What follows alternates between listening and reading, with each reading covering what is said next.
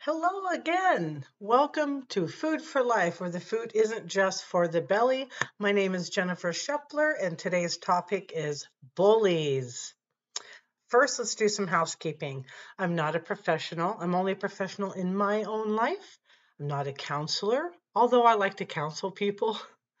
And so that with that being said, everything you hear is pretty much my opinion and my perspective from the challenges of life that I went through. And so I'm here to share that with you in hopes to give you a different perspective. So, also, that means I may make a mistake. I'm not perfect. I am human. I may blurt out something that may not make sense or really good at mispronunciations or all that jazz. Everything that people do in life that isn't perfect, I'm going to let you know right now that's me. so I appreciate your forgiveness uh, in these challenges. And so let's get busy to our topic bullies. My guess is going to be yes for most of you, but there are some out there who have never experienced this. Have you been a bully yourself? Or, and have you been bullied? So, yes, for my my answer would be a, a shout out yes. And I've had several in my life, but I'm learning to persevere through that, which will be another topic, persevere. And life's pretty good as far as the bully program. so, I'll give you a little story back in high school. Um, I kind of pretty much you know, just kept to myself really and did what I was supposed to do and did my homework and all that. I wasn't an, an A student, I was more like a C student. Um, I think that's pretty good considering not a lot of education in my background. So I did what I did the best that I could. And so there was one girl, though, who always, she would say, I'm going to kick your ass. And like, I've never met her before. She's never introduced me. I didn't know her friends. You know, they were the ones who would hang out after school and smoke cigarettes, and I was not into that group. I was mainly with the nerds, um, just doing my own thing, paying attention to my own life. So I didn't really know what I did to her for her to say that to me. And it really gave me a lot of strife. Like I was constantly dodging the hallway, and when I'd see her, I'd go down another hall, or, you know, I always had anxiety around her. And luckily for me, I was always a track runner and I ran sprints. So I knew that she would never get a hold of me after school because I would beeline at home. So as soon as that doorbell rang, I was out the door and I ran home. There was no chance for anybody to to trap me in any situation to where I would get my butt kicked. I wasn't about to let her, so I avoided her. She probably did this for a good year, and I didn't know any of her friends. So we finally graduate, and I just had my baby my first daughter, and then um, I get on the bus because that was my mode of transportation back then. And guess what? She ends up on the bus. And I'm like holding my daughter because she's still a baby. You know, she's in my arms. She's probably not more than a few months old. And I'm holding her tight and I'm thinking, oh no, oh no, oh no, oh no, what am I going to do? Like, I'm, I'm kind of freaking out.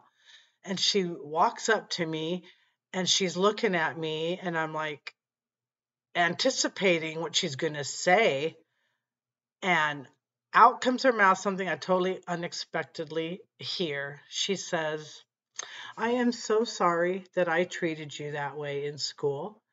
I don't know why I did that to you. I didn't even know you, and I'm sorry. That was really cool. That was like a sigh of relief and I realized that she had grown up a little bit since high school. And that gave me a sense of hope that okay, good. One, I didn't do anything that I didn't think I did. So she kind of helped me with that. And I gained a lot of respect for her that day. And it was a really good thing to hear. So comment below if you actually had a bully from your past come up to you and apologize. I mean, that is a breakthrough. Um, another situation happened fast forward in college. Okay, so there is two parts to this story. There's my part and then there's her part. In the beginning, we just didn't really connect. There was, you know, a distance, I guess you can say. We didn't really become instant friends or anything like that. We just tolerated each other, I guess you could say. There was no drive to bring us together. And one day I was having not a great day.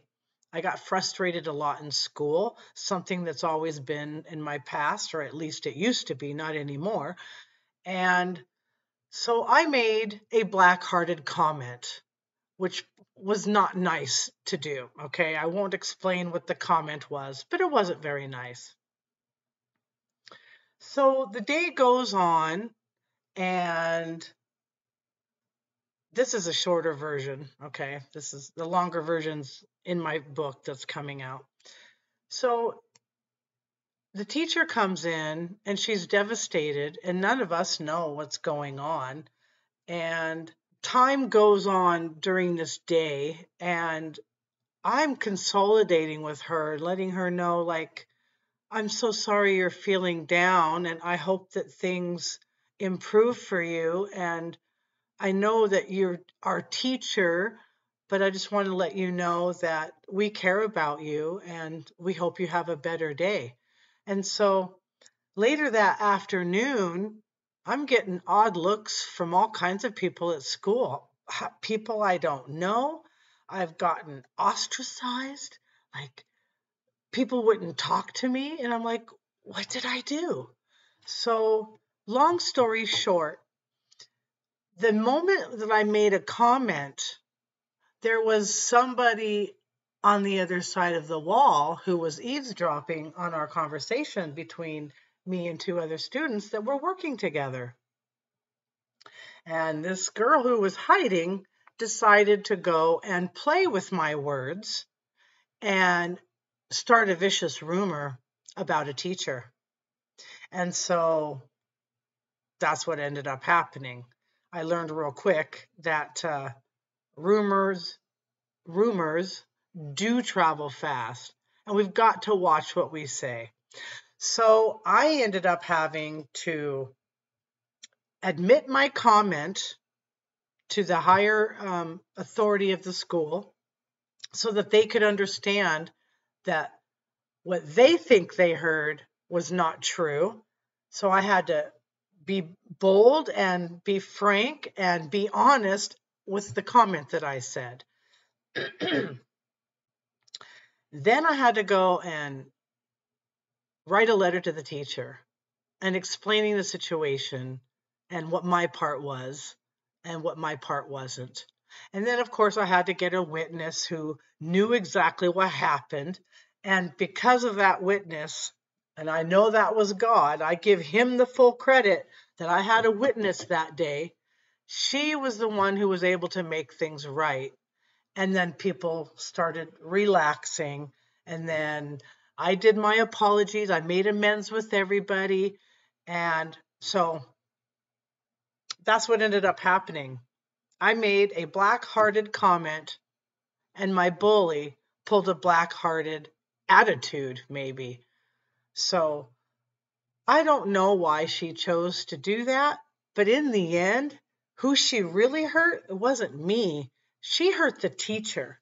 And so that is one of the biggest things that we have to be careful when we get attacked by a bully. Uh, it's never usually about us. The bully is the one who has issues in their heart, and then some um, will will do whatever they can to get some attention or release some of the tension that they have inside their hearts because at home they can't bring out their voice. They can't say anything. They're stuck. So when they leave that that spot of where their demise is, they come into another uh, another situation and they use what they can to feel better. So, you know, bullies are the ones who really need to be prayed for. And I know that a lot of people are going to go, What? What are you talking about? You know, it's not an eye for an eye. You know, when we bully somebody, we're hurting more than just the one person that that bully thinks that they're hurting. And so, excuse me, I got a little bit of a raspy voice today. So, bullies really are people who are hurting, who don't know how to express their anger or their frustration, so they take it out on other people. And so that's where I think bullies need to be um, hugged a little bit more. Um, so here's what Jesus has to say about bullies. The first one is Proverbs uh, chapter 6, verse 16 to 19.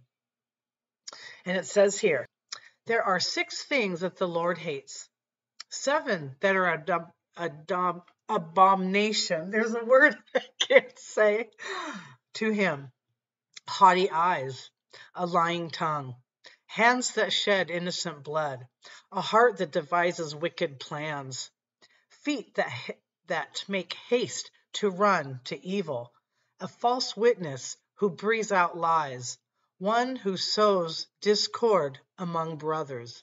That's exactly what that bully did to me in college. Now, the first bully in high school wasn't so bad. She never really did anything to me. She only just said it.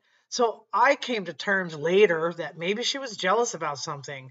Maybe she was jealous because I ran track. I don't know. Maybe I had nice hair. I don't know. But whatever her reason was, was her reason. And she saw that and apologized to me. And my respect just grew for her.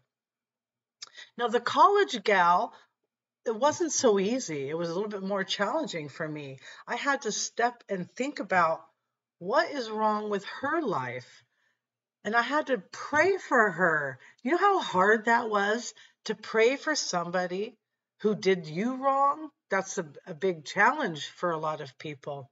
But really, that's what it was. Like, I don't know, she may have chosen me because I was in a negative time in my life where I was feeling down. And a bully looks for somebody who is worse off than they are so that their plan is successful. So if I had been a positive person, I doubt she would have chosen me. It just so happened to be that my life wasn't doing great either. And I really believe that that's where bullies come from. They look for the smaller, the smaller dough and attacks so that their their mission is a success. and then the second um, verse, what God says about bullying, is in Ephesians chapter 4 verse 29. Let no corrupting talk come out of your mouths, but only such as good for building up, as it fits the occasion, that it might give grace to those who heal. God gave me grace because he was able to give me strength to one apologize for making that comment. So I had to apologize and then I had to humble myself and realize what my part was where I was wrong, and I had to make it right. Then I had to find my voice and to go speak to that bully and let her know how I felt. I said, How dare you hurt somebody else when you really wanted to hurt me? And it really made her think. I don't think she realized the damage that she had done to that teacher, regardless of what the effects would have done to me. And I, I'm sure because she was really quiet, and then she ended up, you know, profanity towards me, which tells me that I had stirred something up in her that was truth, and she didn't know how to react. So she, all she could do really was, you know, to just speak out what she felt.